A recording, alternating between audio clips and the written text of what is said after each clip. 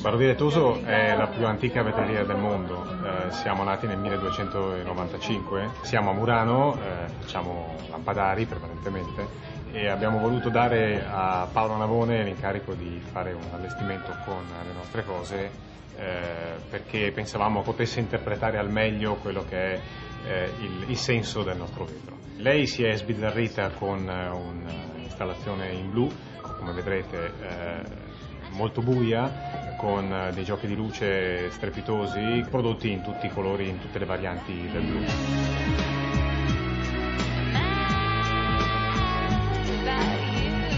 Troverete entrando alcune applique eh, attaccate su delle tavole di legno.